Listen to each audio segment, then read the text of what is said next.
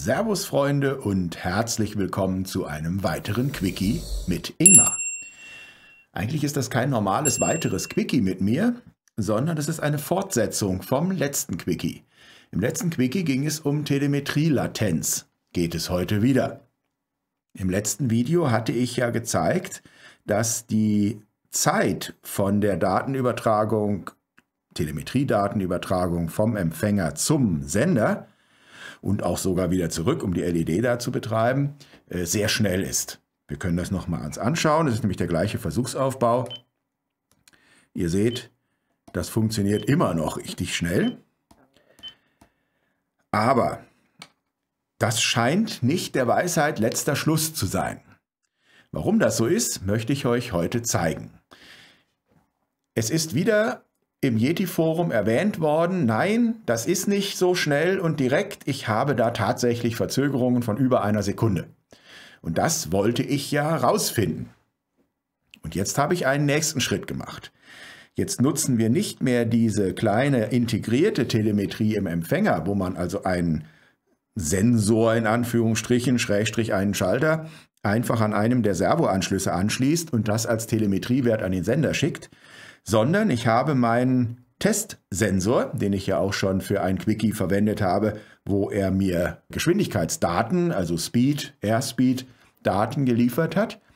Den habe ich so umprogrammiert, dass er mir jetzt eine variable Anzahl von Telemetriedaten liefert. Im Augenblick ist er eingestellt oder programmiert, 16 äh, Telemetriedaten zu liefern. Und wenn ich hier auf den Knopf drücke, Achso, ihr seht die Telemetriedaten übrigens hier im Display. Hier oben die 0, das ist der Schalter, der Testschalter. Das ist Telemetriewert 1, Telemetriewert 2, 3, 4, 5. Und da geht es weiter, 6, 7, 8, 9, 10, 11 bis 16.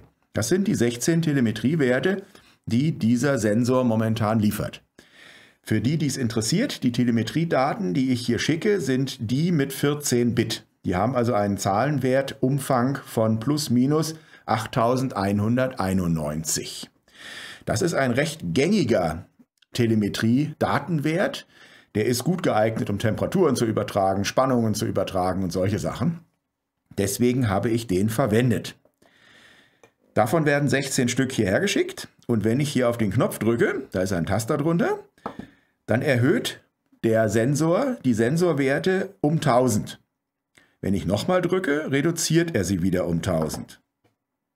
Und was man hier schon sehen kann, das ist nicht immer so schnell, wie das mit dem kleinen Mikroschalter ist.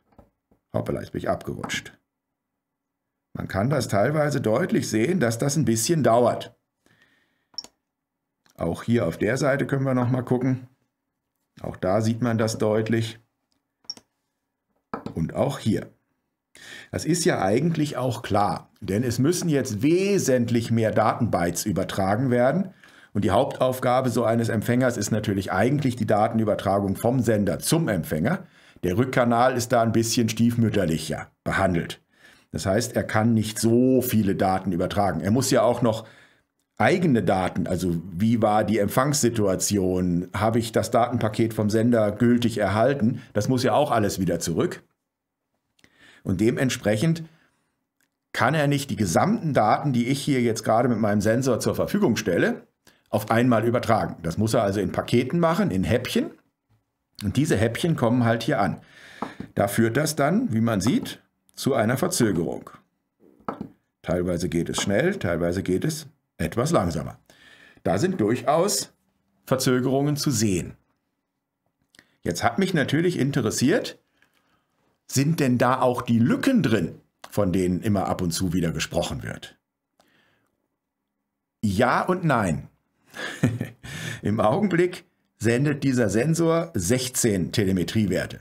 Ich habe das aufgezeichnet im Sender, habe das im Yeti Studio ausgewertet, habe das Yeti Studio so eingestellt, dass er nur gültige Daten anzeigt, also alles, was fehlerhaft übertragen worden ist oder gar nicht übertragen worden ist, ist dann null habe das Ganze in eine Excel-Tabelle exportiert und die seht ihr jetzt hier. Bei diesen 12, nein 16, 16 Telemetriewerten sieht das eigentlich alles genau so aus, wie wir uns das vorstellen. Mit jedem Tastendruck werden die Werte geändert, also von 1 bis 16 auf 1001 bis 1016 und wenn ich nochmal drücke, wieder zurück. Und wir sehen, dass diese Übertragung in Blöcken passiert. Gut, Blöcke. Yeti Studio kann nur alle 100 Millisekunden äh, Daten darstellen. Es ist natürlich durchaus denkbar, dass so ein Block sich dadurch bildet, dass innerhalb dieser 100 Millisekunden die Einzelwerte kommen.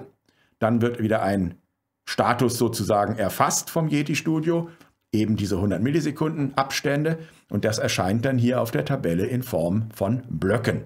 Schwankt zwischen mal zwei, das ist aber sehr selten, üblicherweise drei bis fünf Datenpakete pro 100 Millisekunden. Aber wie man hier auch sehen kann, Lücken hatte es da nicht.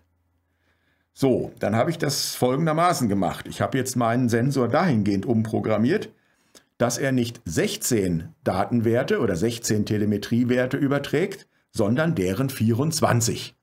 Auch das habe ich aufgezeichnet und das können wir uns anschauen.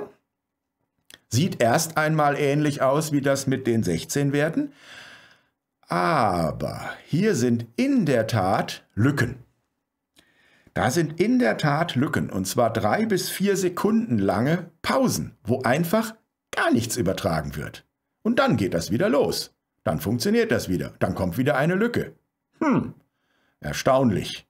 Also habe ich den Sensor nochmal umprogrammiert und habe ihn 32 Sensorwerte ausgeben lassen.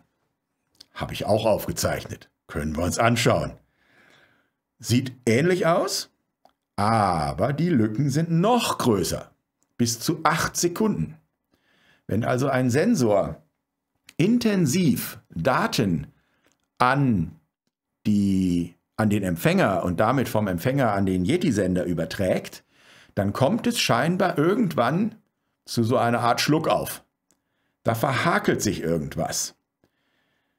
Das müsste man jetzt noch ein bisschen näher untersuchen, ob es da vielleicht noch Abhängigkeiten von der verwendeten Art des Telemetriewertes gibt oder nicht oder ob man oder wenn der Sensor Pausen macht bei der Übertragung, also selber sozusagen langsamer sendet, ob es dann besser ist. Das hebe ich mir für noch ein weiteres Quickie auf. Schließlich heißen diese Dinger ja nicht umsonst Quickie, die sollen ja schnell sein.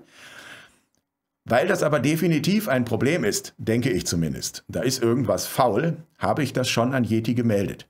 Die werden sich dem mit Sicherheit annehmen und dann schauen wir mal, was dabei rauskommt. Eventuell kann ich da im nächsten Quickie mit Ingmar schon Näheres drüber berichten. In diesem Sinne, ich wünsche euch eine schöne Zeit und verbleibe euer Ingmar bis zum nächsten Quickie oder großen Video. Würde mich freuen.